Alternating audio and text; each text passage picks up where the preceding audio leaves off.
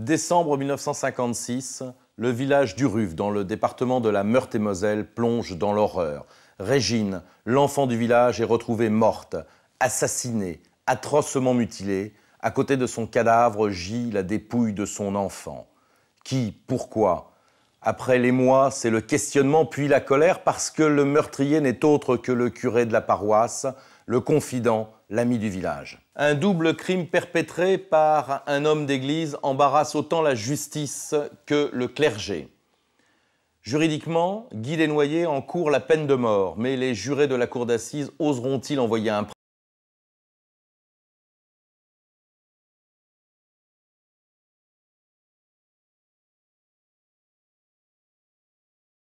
3 décembre 1956. Les habitants de la petite commune d'Uruf, près de Nancy, sont tous rassemblés dans la rue principale. Régine Faïs, 19 ans, a disparu. Les recherches commencent, dans le calme. Une habitante d'Uruf qui préfère garder l'anonymat était présente le soir du drame. Elle se souvient. Je sais qu'il était tard, on a dit la Régine a disparu, la Régine a disparu. Hein. Euh, ils ont sonné les cloches pour euh, demander aux hommes de bien vouloir euh, chercher et tout. euh. Elle avait été se promener, soi-disant. Elle avait dû dire à ses parents qu'elle allait se promener euh, sur, sur enfin sur le, chemin de, de Vannes. Et tout le monde a été la chercher du fait qu'elle était partie par là-bas. Puis surtout qu'elle était prête d'accoucher quand même, alors... La jeune Régine, enceinte de 8 mois, s'est absentée pour une simple promenade. Mais la voilà volatilisée. On pense plus à cet instant à un départ précipité pour la maternité ou à un simple malaise. Tous se mobilisent.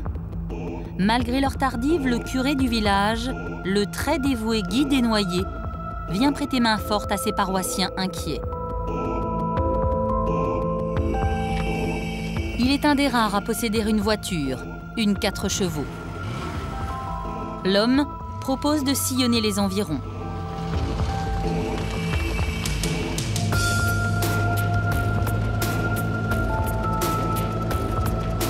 La nuit tombe, mais c'est bientôt la foudre qui va s'abattre sur la campagne lorraine.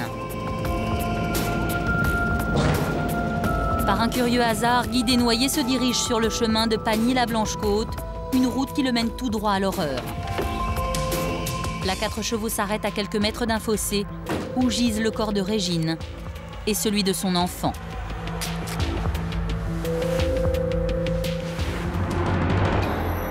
Raymond Nicolet, ancien journaliste à l'Est républicain, se souvient de ce drame et de cette soirée peu ordinaire. Il était 18h15 lorsque Régine quitta le domicile paternel pour effectuer ses emplettes. La jeune fille, qui attendait ses jours prochains un bébé, depuis un certain temps repliée sur elle-même. Aussi son absence prolongée inquiéta-t-elle ses parents. On pensa au suicide.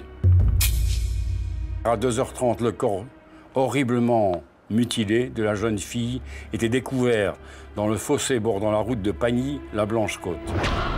Elle portait au ventre une entaille profonde et l'enfant qu'elle allait mettre au monde avait été mutilé avec un sadisme révoltant. J'étais à l'époque à, la rédaction régionale. Donc toute la soirée a été agitée euh, par euh, un questionnement. Bon, euh, ce drame absolument étonnant, hein. un soir d'hiver dans la campagne lorraine, les bribes qu'on apprenait étaient de plus en plus troublantes, c'est évident. Le trouble, l'effroi. Les journaux du lendemain relaient vite l'information et surtout l'interrogation. Qui Le village du Ruf est drapé d'horreur et de suspicion. Les villageois font courir les bruits les plus fous. L'assassin serait un des leurs, un proche, un homme qui connaissait Régine. La famille attend des réponses. L'enquête ne va pas s'éterniser, l'étau se resserre. Une douille retrouvée sur le lieu du crime va orienter les pistes vers un homme. Un homme au-delà de tout soupçon, un homme qui passera aux aveux le lendemain de son forfait. La révélation de son identité va glacer les mémoires lorraines. L'auteur du double meurtre n'est autre que Guy Desnoyers, le curé de la paroisse. Qui c'est qui nous l'a dit? C'est tout le monde, c'est personne et tout le monde. Hein, quand c'est comme ça, c'est. C'est une traînée de poudre, hein, c'est vrai. Tout le monde était retourné, quoi. Tout le monde était en effervescence, quoi. Tout le monde euh, scandalisait. Enfin, On pensait que ça venait de, du prêtre, mais on était quand même retourné. On disait il a fait faire le coup, il a... c'est pas à lui. On ne pensait pas à lui, naturellement. On pensait à lui d'une certaine façon, mais pour avoir fait le, le crime, non. Guy Desnoyers, le jeune curé apparemment tranquille et sans histoire, est arrêté.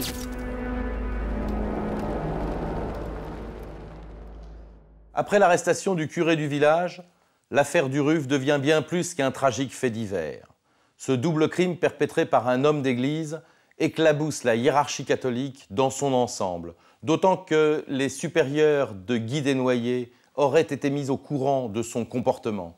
Chacun se penche maintenant sur la personnalité de ce prêtre assassin.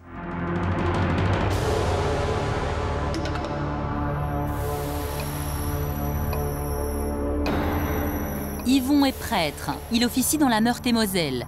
Ordonné en 1957, quelques mois après le drame du RUF, Yvon se souvient de la tragédie. J'étais à Paris. Les seuls échos que j'ai eus, la presse, les grands titres. Et puis dans la rue, quand je marchais avec un ami séminariste, on entendait des gens hurler Salaud, curé du Ruf C'était fréquent. Les prêtres souffraient réellement, un petit peu comme quand on a appris la, pédophilie d'un certain nombre de prêtres. Hein. Ils souffraient vraiment, et en même temps, euh, dans un langage simple, ils disaient il faut être fou pour avoir agi de cette façon-là. Mais par contre, euh, tous les prêtres qui l'ont connu ont dit euh, n'avoir jamais rencontré quelqu'un qui était aussi attentif à la vie des gens, euh, rendant service au prix de sa fatigue. On m'a raconté 30 euh, anecdotes. Hein. Et puis en même temps, quelqu'un qui avait une foi réelle, hein, mais qui se portait dans un corps Hein. Mi-prêtre, mi-démon, Guy Desnoyers était un homme apprécié de tous ses paroissiens. Ah oui, il était gentil, serviable, on pouvait lui demander n'importe quoi. Euh, il n'y avait pas de problème. Hein. Un service avec sa petite voiture, c'était une 4 chevaux, oui. Il nous emmenait n'importe où, il était... Ah oui, franchement, euh, il dit tout, le temps oui, il dit toujours oui. À Uruf, le curé avait gagné la confiance de tous. Le pays du Ruf, c'était un pays qui autrefois était purement rural, forestier. C'était des gens qui étaient des gens simples. On n'était pas intellectuel, on aimait bien son curé, il était gentil, mais on disait quand même, c'est quand même drôle. Hein. Les gens disaient à leur fille, à cette que tu rentres ben oui, j'ai chez me curé parce que. à la fin, on finit par se poser des questions. Hein. Dans la société française très catholique des années 60, le curé du village, à l'image des notables, est un personnage très respecté. Être prêtre, c'était le summum d'une montée sociale. Et puis en même temps, il y a un certain désir de briller. Hein. Quand vous arrivez comme prêtre, si vous parlez bien, euh, peu à peu, les gens disent Ah, notre curé. Alors, vous voyez des gens arriver d'autres paroisses pour écouter vos prêches, vos sermons, vos homélies, comme on dit. Hein. Donc, il peut y avoir une sorte de vanité.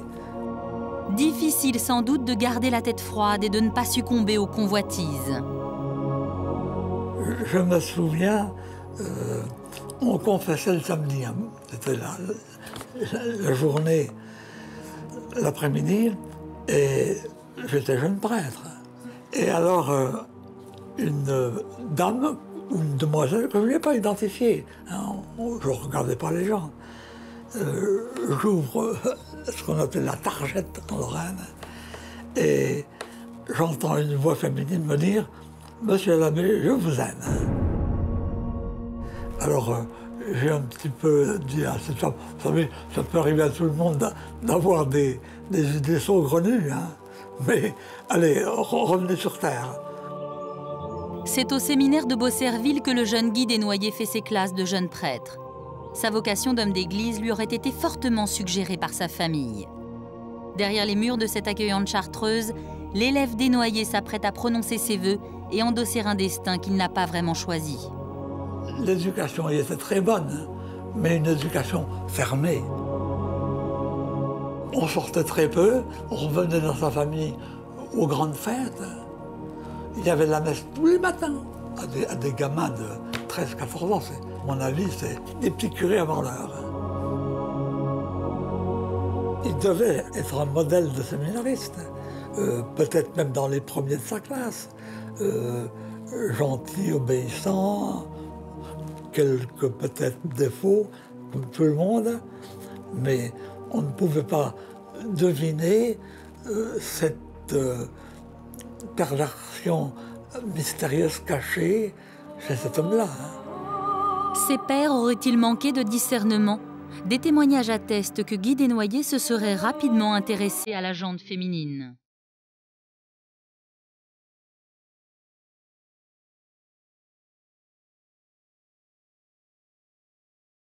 C'était les femmes mariées, c'était les, gamines, euh, c'était, vraiment un tombeur, on peut le dire. Le père Ayotte a eu la lourde tâche de remplacer le curé assassin dans la paroisse du Ruf. Il est resté longtemps le confident d'une population meurtrie, une population qui se révélait agacée par le comportement de l'abbé Desnoyers.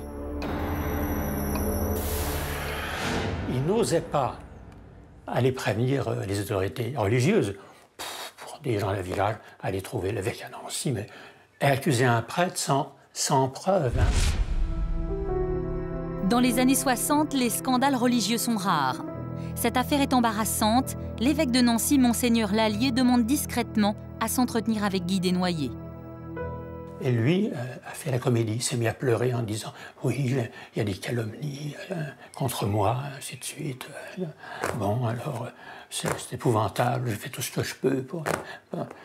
Alors l'évêque, ma foi, devant ça, il dit en effet oui, et il lui, propose de changer de paroisse. Changer de paroisse, il ne peut en être question pour Desnoyers. L'homme est rusé et réussit à persuader son supérieur du grotesque de ces ragots de village.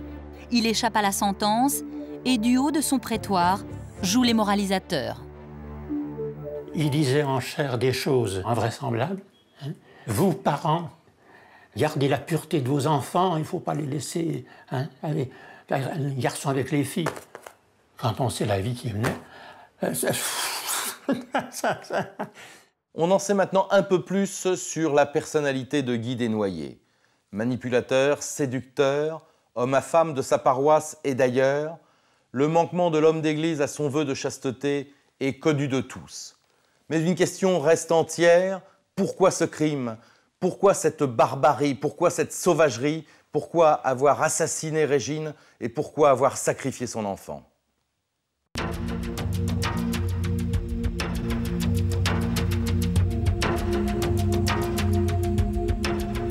Régine Faïs était l'enfant du pays. À 19 ans, elle travaillait à la verrerie de Vannes, une commune voisine.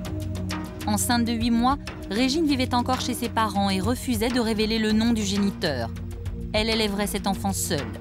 Respectueux, les parents Faïs attendaient avec impatience l'arrivée du petit. Tout était prêt, le berceau, la layette.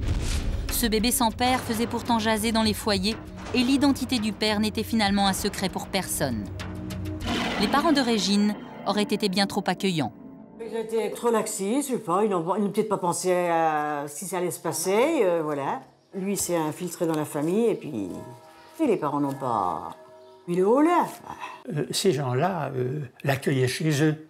Trop d'ailleurs, trop, ils restent jusqu'à minuit chez eux.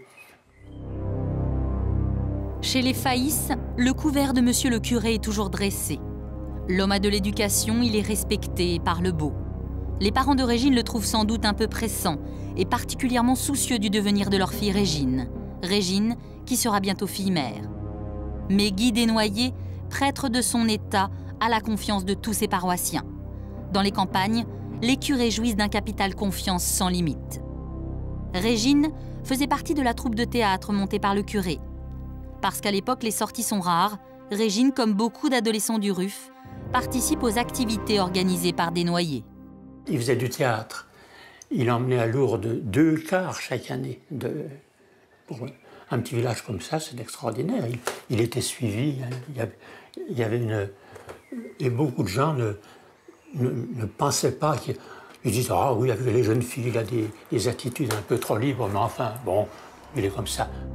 Régine tombe à son tour sous le charme de cet homme plein d'énergie, si différent des autres garçons de son village. Malgré un caractère bien trempé, Régine va devenir la nouvelle proie de Monsieur le curé. C'était une jeune fille comme les autres, il hein, n'y a pas de problème. Hein. Très gentille, oui. Quand je dirais, moi, elle était avenante, elle était hein, comme toute jeune fille, euh, naturellement. À l'ombre de la sacristie, les deux tourtereaux vont vivre un amour clandestin.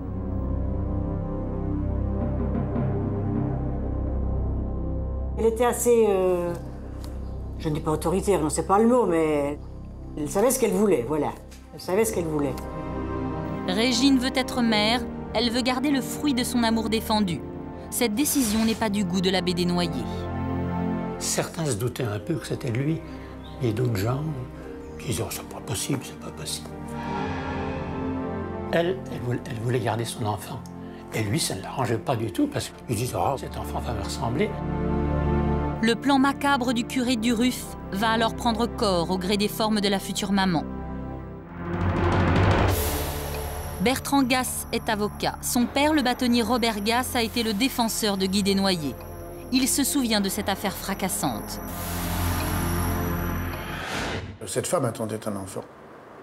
Et, je présume que pour ce prêtre, euh, la naissance d'un enfant, qui était le, fruit euh, d'un des péchés les plus graves qu'un homme d'église puisse commettre, c'était, je pense, pour lui l'impasse. Compte tenu au surplus de ce que savait peut-être son évêque, ou des mises en garde qu'il avait eues, euh, je pense que mon père a voulu dire cela lorsqu'il a parlé d'impasse. Et ce n'est pas la première fois que Guy Desnoyers fait une entorse au règlement sacerdotal. Par le passé, il était parvenu à éviter le scandale. Ce n'était pas la première qui était victime euh, de lui. Il y avait une jeune fille du RUF qui déjà avait eu donc un enfant de lui. Il l'avait emmené 7-8 euh, mois dans le midi de la France. Elle avait accouché. Il avait fait abandonner l'enfant. Et voilà l'origine du mal, si j'ose dire. Il voulait faire la même chose pour Régine Face.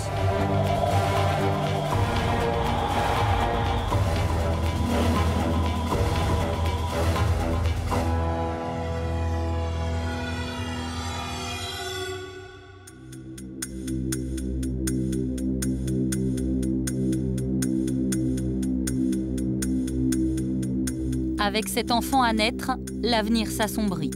Le curé, victime de ces vieux démons, se sent pris au piège. Il est cette fois-ci dans l'impasse et va commettre l'irréparable.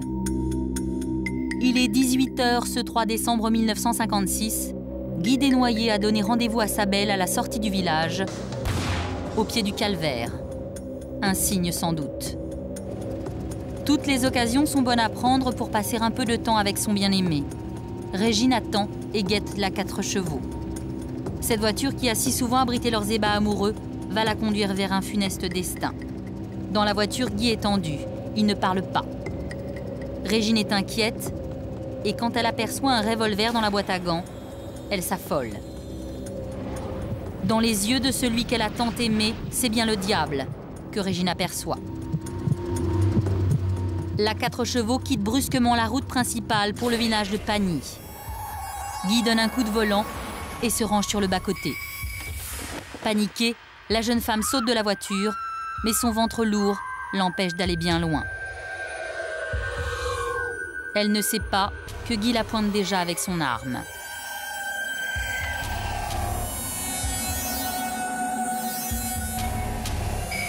Une détonation déchire le silence. Régine s'écroule abattu d'une balle dans la nuque. 6 décembre 1956, retour sur le lieu du crime. Trois jours après son forfait, Guy Desnoyers, encadré par des gendarmes et des inspecteurs, participe à une reconstitution. Avec beaucoup d'aplomb et force de détail, l'homme va reproduire ses gestes meurtriers. Le regard fiévreux, il raconte comment il a lâchement assassiné sa proie qui tente de lui échapper. Il raconte comment il s'est approché du corps. Précautionneusement, il va couvrir sa victime.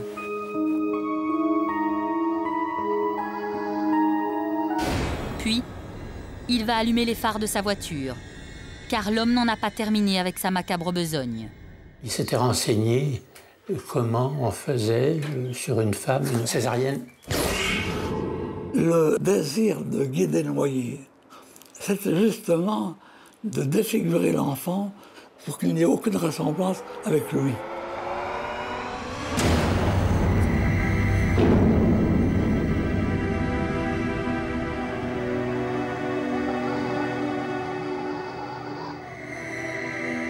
Et pour mieux comprendre comment il a opéré, les gendarmes se munissent d'un poupon en celluloïde.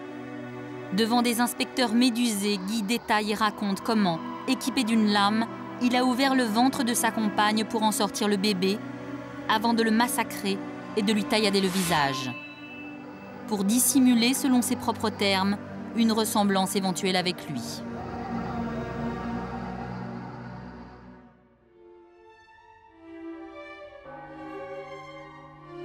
L'ambiance est lourde sur la route de Pagny, mais elle l'est plus encore à Uruf. Au même moment que cette tragique reconstitution, les villageois sont rassemblés dans l'église pour un dernier hommage à Régine. Comme le veut la coutume, le glas a sonné et le cercueil éclairé de douze cierges a été veillé toute la nuit. La petite église est comble. Le chagrin se mêle à la torpeur. Certains n'y résistent pas et sortent pris de malaise. Il ne fait pas bon être un homme d'église dans cette paroisse du Ruf. Monseigneur Frédéric, archidiacre de Toul, a la lourde tâche de célébrer la messe funèbre. Il monte en chair et d'une voix étouffée par l'émotion, on l'entend dire Nous sommes prêtres, et c'est l'un d'entre nous qui vous a fait souffrir. Mais vous savez bien que nous ne sommes pas tous des assassins. Vous savez bien qu'il fut un prêtre indigne. Nous ne le sommes pas tous. Guy et Gilbert Faïs, les deux frères de la défunte, portent le cercueil où repose Régine et tout contre sa poitrine son enfant. Une victime innocente qui laisse une trace fugitive dans les registres administratifs de la mairie du Ruf.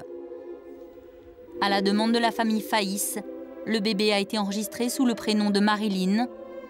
Marilyn Faïs, née et décédée le 3 décembre 1956.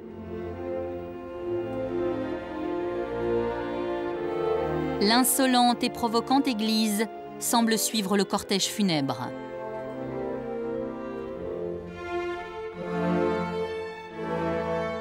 La lente procession prend le chemin du cimetière.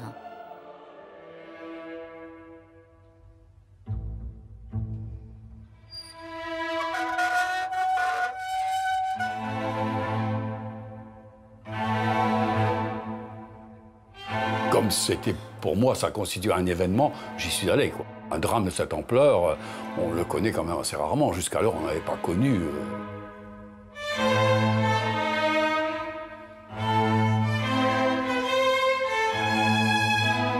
C'était euh, réfrigérant. Il y avait cette lourdeur, il y avait euh, l'énorme pesanteur d'un village. Tout le monde était là, quoi. Mais tout le monde était là, le dos courbé, avec à la fois euh, cette part d'incompréhension qui était palpable, et aussi euh, une interrogation, mais une interrogation sourde.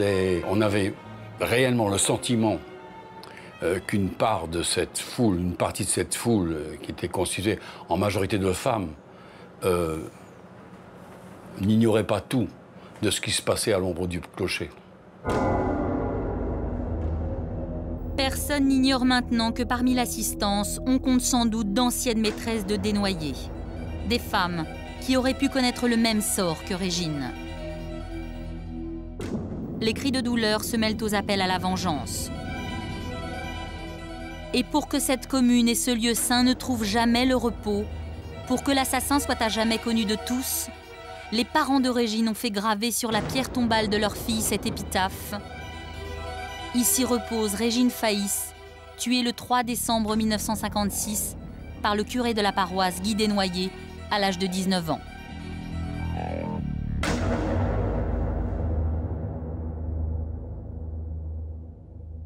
Monseigneur Jacques Gaillot, connaissez-vous l'affaire Guy Desnoyers, dit le curé du Ruf, et qu'en pensez-vous? Oh, bah, écoutez, je l'ai connu quand j'étais au séminaire, à Langres, j'avais 21 ans. Et j'étais choqué, mais vraiment. euh, moi qui pensais être prêtre, je me disais, c'est pas possible d'avoir un crime aussi monstrueux, aussi inqualifiable, un prêtre. Et je me disais quand même, c'est un prêtre euh, qui, fait bien son ministère, qui aurait pu faire un, mari merveilleux, euh, père de famille. Parce que ce qui est en cause, c'est le verrou du célibat. Et par ailleurs, est-ce que vous pensez qu'en 1956, on aurait pu expliquer à des villageois de Meurthe-et-Moselle euh, qu'on pouvait à la fois être prêtre et père de famille? Mais je pense qu'eux-mêmes auraient dit, au fond, euh, il était fait pour être prêtre, on l'aimait comme prêtre, puis il aimait une femme. Pourquoi les deux ne sont pas compatibles? Je crois que les, gens ont du bon sens aussi. Et qu'ils n'auraient pas attendu qu'on leur dise. C'est peut-être eux qui auraient dit ça. Mais alors, qui bloque, même encore aujourd'hui, puisque les prêtres n'ont toujours pas le droit de se marier, qui bloque ce- cette possibilité? Ben, je crois que c'est un verrou de, de Rome, puisque même au Concile Vatican II, euh, c'était un tabou. On n'en a pas parlé au Concile. Le pape avait réservé cette affaire. Et donc, il, il faut qu'on en parle. Alors, il faut peut-être attendre qu'il n'y ait plus beaucoup de prêtres en France pour qu'on dise on ne peut pas continuer comme ça. Quelques jours après l'arrestation de Guy Desnoyers, curé de la paroisse du Ruf, il a fallu nommer un remplaçant. C'était Pierre Ayotte. Quel conseil, si vous aviez été l'archevêque de Nancy, auriez-vous donné à Pierre Ayotte? Je, je crois que je n'aurais pas nommé de curé, moi. Je pense que l'évêque lui-même aurait dû venir sur le terrain et de dire, après ce drame innommable, euh, comment continuer, qu'est-ce qu'on peut faire? Tout- toute la France, enfin, on a les yeux sur cette, euh, ce crime et on ne peut pas repartir comme autrefois.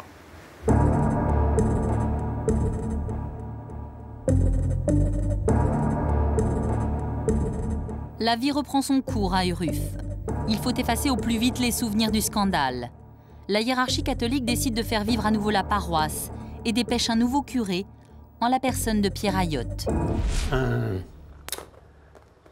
prêtre de l'évêché frappe à ma porte et me dit d'un air un peu triste Euh, J'ai quelque chose à vous dire, mais venez prier à l'église. Qu'est-ce que c'est que cette histoire-là? À la fin, il me dit voilà, je vais demander quelque chose, mais ne me répondez pas tout de suite. Dans trois jours, je, viens, je vais chercher. Je viendrai chercher votre réponse et répondre à vos objections. Qu'est-ce qu'il veut dire? Voilà. À l'évêché, nous sommes tous d'accord pour vous demander d'aller à Uruf. Quoi? Dans- Là-dedans? Mais je vais me faire assassiner.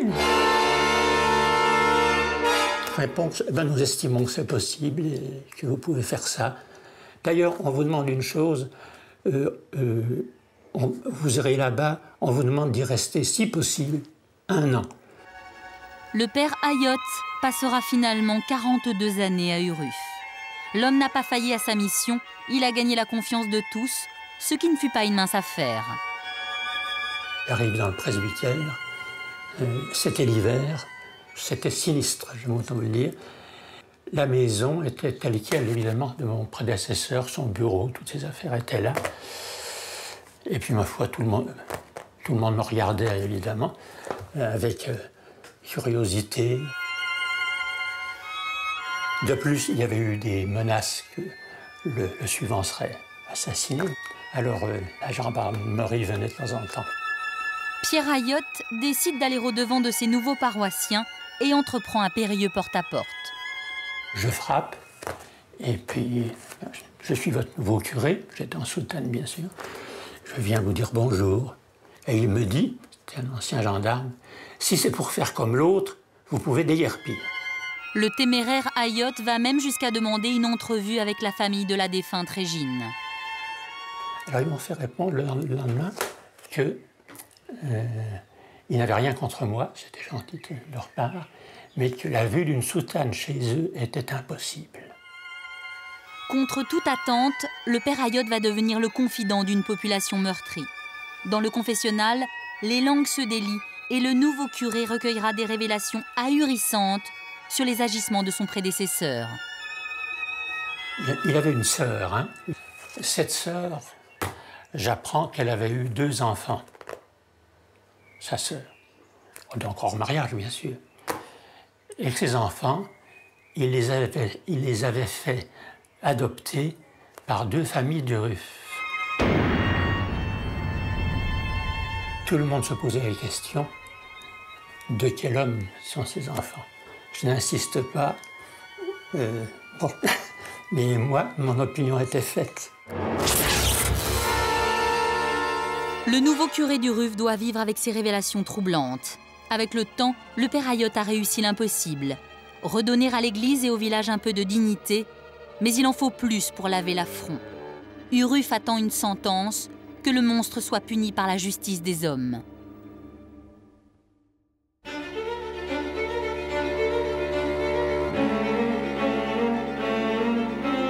24 janvier 1958, un an et un mois après la tragédie, une foule de badauds et de curieux est massée autour du tribunal de Nancy.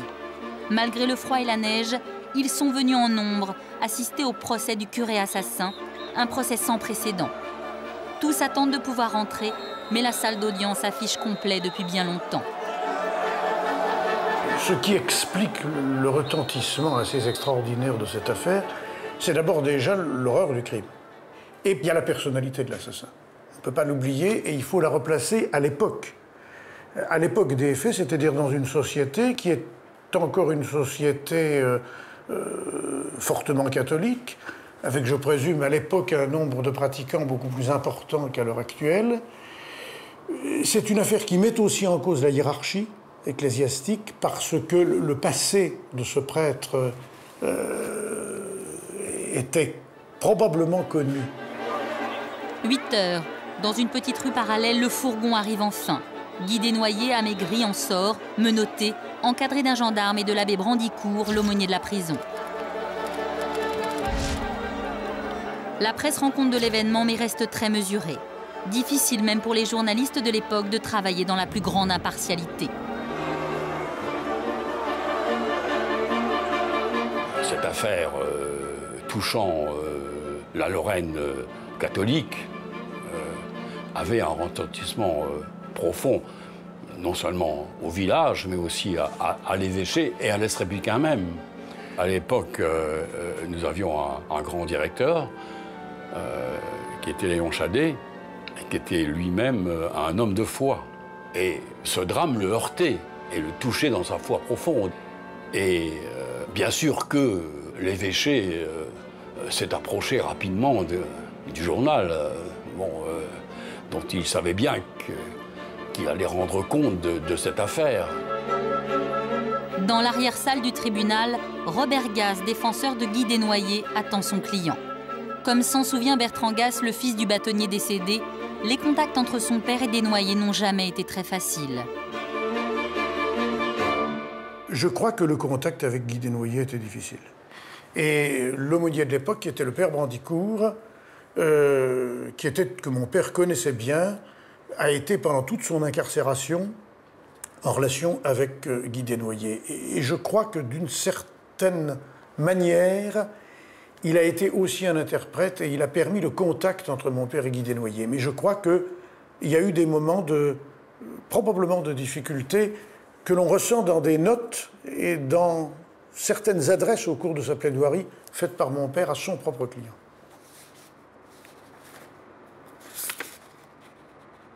Pauvre Guy Desnoyers, je vous plains, vous auquel je n'ai jamais pu tirer une larme, parce que Dieu vous a donné l'activité du corps, mais vous a refusé les richesses du sentiment.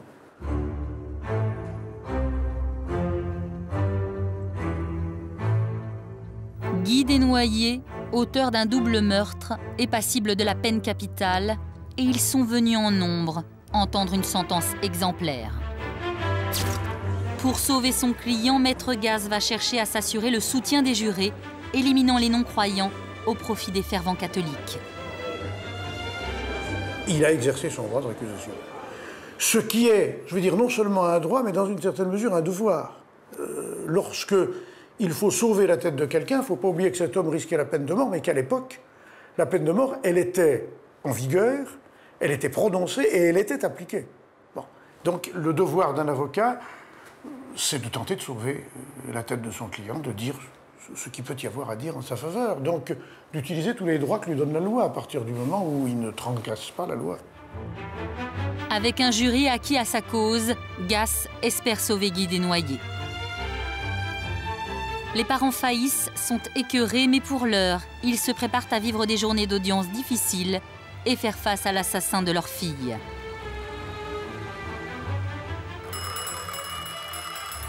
9 heures. Guy Desnoyers entre dans le box des accusés, tête baissée. Un frisson parcourt la salle. Les jurés s'installent. Rien ne trahit l'émotion du prévenu qui, à la demande du président, décline son état civil. Guy, Marie, Louis, Henri Desnoyers, 37 ans, prêtre à Uruf. Puis, le greffier Eisen commence la lecture horrifiante du chef d'accusation. Un récit qui ne laisse pas l'assistance sans réaction. Le président Fac menace de faire évacuer la salle et d'une voix tonnante s'exclame N'oubliez pas que vous n'êtes pas au spectacle. Un médecin s'avance pour donner lecture des conclusions de l'expertise psychiatrique pratiquée sur des noyés. Acculé au scandale, Desnoyers va s'acharner sur les cadavres, mais il ne perd pas sa lucidité. C'est un criminel conscient et réfléchi. Cet homme n'est pas un aliéné. Jugé responsable de ses actes, Desnoyers peut comparaître devant un jury populaire. Les débats peuvent commencer, l'expiation des Desnoyers également. Dans un procès qui va durer deux jours, le président Fac mène les séances au pas de charge. Il questionne d'abord l'accusé sur ses études au séminaire.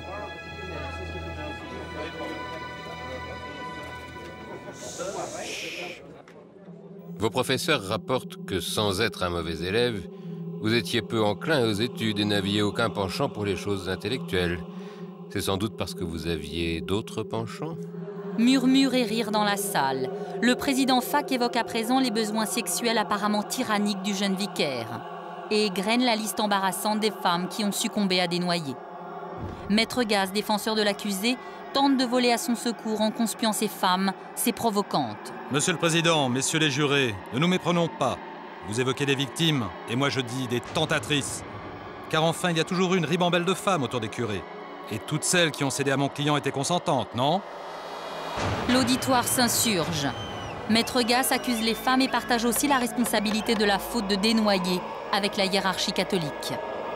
On s'est interrogé probablement de façon moins affirmée qu'on ne le fait aujourd'hui dans des affaires de pédophilie par exemple, sur la responsabilité éventuelle que pouvait avoir la hiérarchie à partir du moment où on lui signalait un comportement difficile et douteux d'un prêtre. Bon, et, cela c'est vrai. On s'est dit, est-ce qu'il n'aurait pas fallu le retirer euh, d'une paroisse? Bon, tout simplement pour, le mettre dans un poste où il aurait eu euh, peut-être euh, moins, de, moins de tentations, ou en tout cas l'éloigner à partir du moment où on savait qu'il avait peut-être une relation avec cette femme. Les femmes. Il en est beaucoup question dans ce procès. Michel s'avance vers le tribunal. Elle doit être entendue en tant que témoin. À la barre, elle raconte. Michel n'est qu'une petite fille quand elle rencontre l'abbé. C'est lui qui lui apprend le catéchisme, c'est lui qui officie pour sa première communion c'est également lui qui la fera femme. À 15 ans, Michel est enceinte et sous la contrainte du curé furibond, elle abandonne son enfant. Acculé par ses fautes, ses lâchetés et ses mensonges, Desnoyers craque et murmure des excuses. Il n'en a pas terminé avec ses remords. La mère de Régine Faïs, la victime, est attendue à la barre. La voix entrecoupée de sanglots, elle raconte comment Desnoyers s'est infiltré dans sa maison, dans sa famille. J'avais une petite fille qui s'était blessé le pied. Il l'avait soignée. Il avait été chic avec elle. Après, on a bien été obligé de le recevoir à manger. Le président Fac reprend. Mais quand votre fille Régine vous a dit qu'elle était enceinte, Vous n'avez pas cherché d'explication Mais si, bien sûr. Mais elle m'a dit que c'était un gars du village voisin. Et Desnoyers, qui disait le connaître, m'a convaincu qu'il n'était pas respectable et que c'était mieux de ne pas aller le trouver. Dénoyé et mal à l'aise, il manipule frénétiquement un petit crucifix et tente de masquer sa nervosité. L'homme formule des excuses. Il se tourne vers la mère de Régine, effondrée. Je regrette sincèrement. Je ne sais pas pourquoi j'ai tué Régine. Depuis 14 mois, je ne cesse de regretter, de penser. Il ne se passe pas un jour. Moi aussi, il ne se passe pas un jour sans que je songe à ce que vous avez fait. Et j'ai pas fini d'y songer. Desnoyers a perdu de sa superbe, mais il s'accroche à sa seule défense, son statut d'homme d'église. Au procès, il s'est présenté avec un crucifix dans les mains. Hein. Une mise en scène, bon. Il est allé encore le maître de la situation. En ce début d'après-midi, l'audience se poursuit autour de la journée du crime. Les jurés reprennent leur place dans un tribunal où l'atmosphère va devenir irrespirable.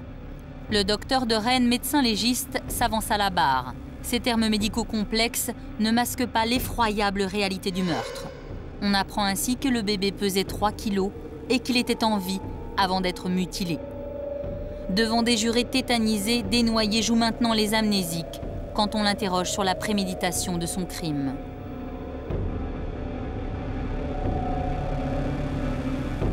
J'avais probablement l'intention de supprimer Régine quand je lui ai donné rendez-vous mais je ne sais plus trop. Vous avez dit aux gendarmes que vous lui aviez donné l'absolution. Est-ce vrai? Je ne sais plus. Je me souviens être descendu de voiture et j'ai tiré. Vous avez allumé vos phares pour éclairer la scène atroce qui allait suivre. Vous avez procédé à cette hallucinante césarienne avec une dextérité extraordinaire. J'ai perdu la tête.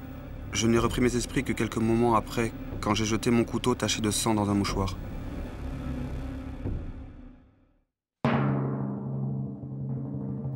Deuxième jour du procès des noyés. Les plaidoiries vont commencer. Maître Vivier, avocat de la famille Faïs, prend la parole. Il a la part belle. S'adressant à Desnoyers, il entonne. Je ne sais, monsieur, si le Dieu que vous avez ignominieusement servi aura pitié de vous, alors peut-être proche de votre mort. Mais moi, je ne connais que la justice des hommes, et je sais qu'elle ne peut pas vous pardonner.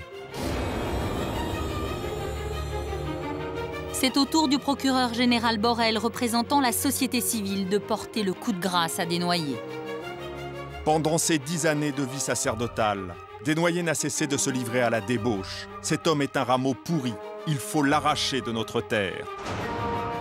Messieurs les jurés, vous qui incarnez notre âme lorraine, austère et inflexible, en refusant les circonstances atténuantes, vous donnerez la paix à nos foyers, la sécurité à nos filles et la sérénité à nos prêtres. Messieurs les jurés, en qualité de chef du parquet de Nancy, je suis venu vous demander personnellement la mort de l'accusé.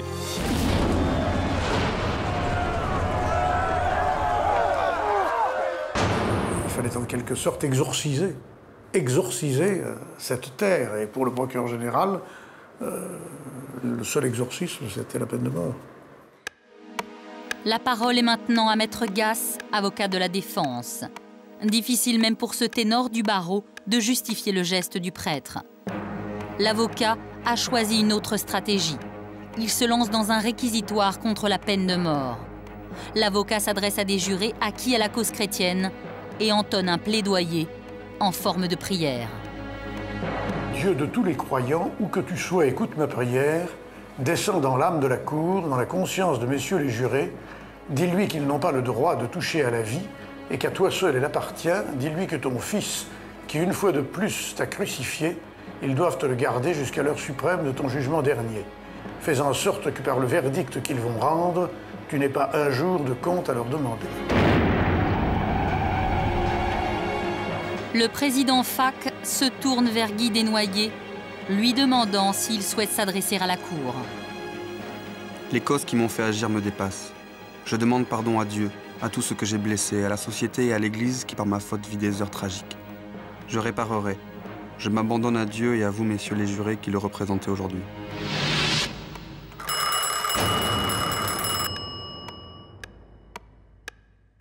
Jean-Yves Liénard, vous êtes avocat au barreau de Versailles. Avez-vous un souvenir de cette affaire? Oui, tout à fait. J'étais jeune, mais je me souviens parfaitement de l'émotion considérable que le crime, dans son horreur, avait suscité auprès de la population à un moment, peut-être, de notre histoire où on parlait beaucoup moins de tout cela, d'une part, et d'autre part, où les prêtres étaient beaucoup plus protégés qu'aujourd'hui.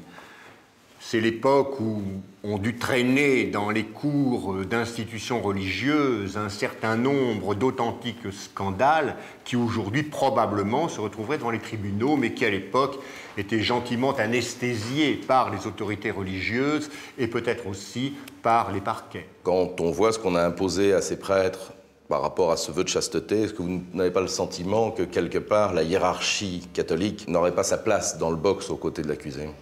Non, pas aux côtés de l'accusé, parce que la faute pénale est individuelle. Maintenant, moralement, qu'elle accompagne l'accusé en ayant généré probablement cette déviation, ça n'est pas impensable. Quel est l'état d'esprit d'un avocat pénaliste au moment où il se lève pour plaider quand la foule dehors hurle à la mort et l'avocat général requiert la même peine?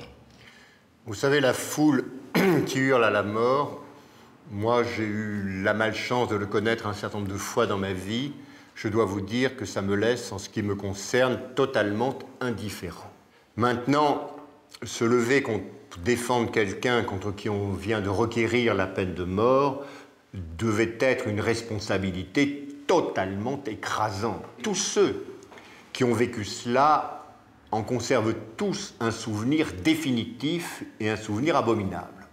Donc le fait de se lever et de se dire que peut-être, au terme de l'intervention qui sera la vôtre, au terme de la réflexion des jurés et des juges, on prononcera une peine de mort qui s'exécutera parce qu'à l'époque on se place, il n'y avait pas d'appel possible des décisions de cour d'assises, et qu'un jour, pour reprendre cette expression terrifiante de Robert Badinter, on allait couper un homme en deux et qu'il faudrait être là et qu'il faudrait voir cette atrocité légale, moi je pense qu'il faut beaucoup, beaucoup de force morale pour dominer les enjeux qui se posent à vous et néanmoins essayer de développer la défense la plus utile possible.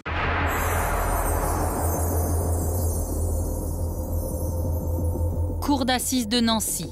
Les jurés reprennent leur place après 1h30 de délibération. Le président Fac fait lecture du verdict. Guy Desnoyers est condamné aux travaux forcés à perpétuité. Il échappe à la peine de mort. Massé devant les grilles du palais de justice, la foule crie sa colère.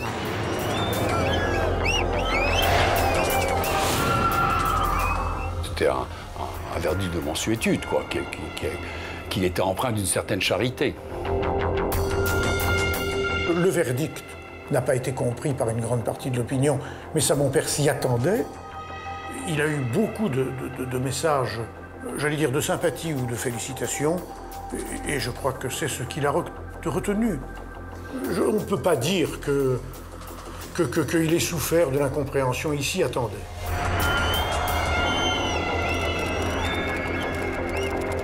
Beaucoup de gens pensaient que c'était un truc de faveur pour l'Église. Il a échappé à la peine capitale en grande partie parce que on a reconnu toutes les qualités de prêtre.